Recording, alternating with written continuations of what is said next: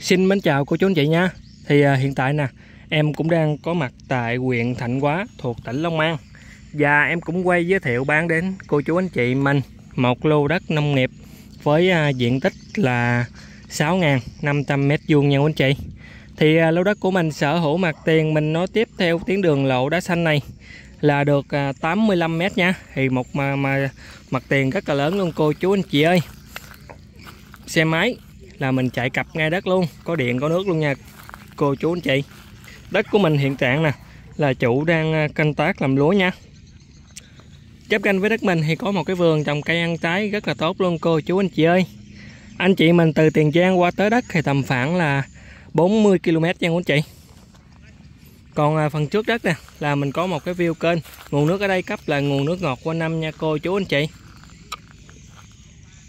còn à, dân cư xung quanh đây thì cũng ở cũng à, khá là đông luôn anh chị. Thì à, bà con xung quanh đây thì cũng có à, ở nè dân cư thì cũng khá là đông luôn.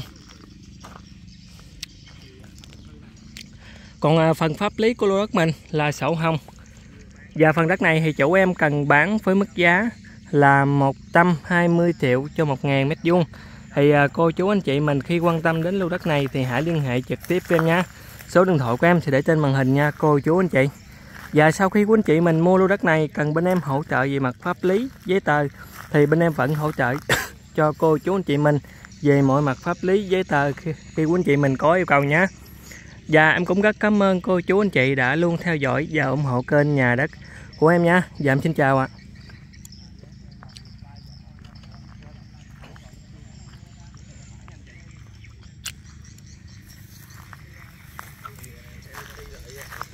sampaikan tersebut demikiannya